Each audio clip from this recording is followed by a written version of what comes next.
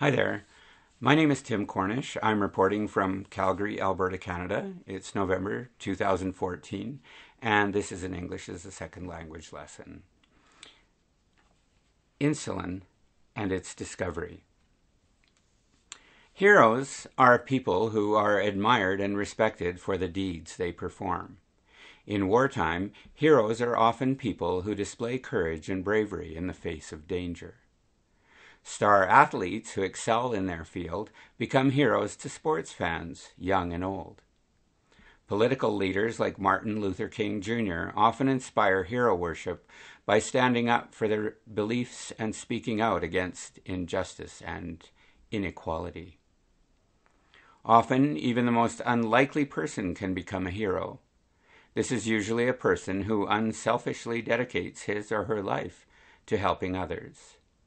For millions of people suffering from the effects of diabetes, the greatest hero of all was a Canadian doctor named Sir Frederick Grant Banting. Dr. Banting is best remembered as the man who discovered insulin, an important hormone used in the treatment of diabetes. The discovery made him a wealthy man, and in 1923 he was awarded the Nobel Prize. But despite the fame and fortune insulin brought him, Banting's greatest reward was knowing his work helped save the lives of millions of people around the world. Born on November 14, 1891, in Alliston, Ontario, Frederick Banting had the same interests as any other Canadian boy growing up on a farm. However, his fascination with medicine was shaped by two important events that occurred early in his childhood.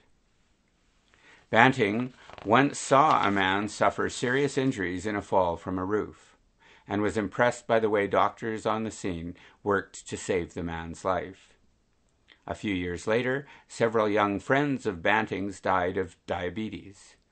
The deaths affected him so much that Banting decided to study medicine in order to help save lives. In 1910, Banting was accepted as a medical student at Toronto's Victoria College. In 1916, he had become a fully qualified doctor and later served as a lieutenant in the Canadian Army Medical Corps. After the war, he opened up a private practice in London, Ontario. He also began teaching first year students at the local university. It was during a lecture on the pancreas that Banting once again became interested in the study of diabetes. In May 1921, he got a temporary research assignment at the University of Toronto to study the disease.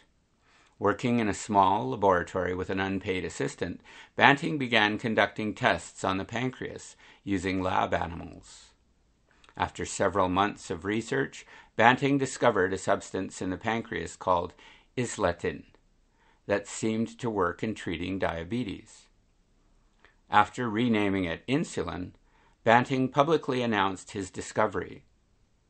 News quickly spread around the world that a treatment had been developed for diabetes. For the first time in history, diabetics had hopes of living a longer life.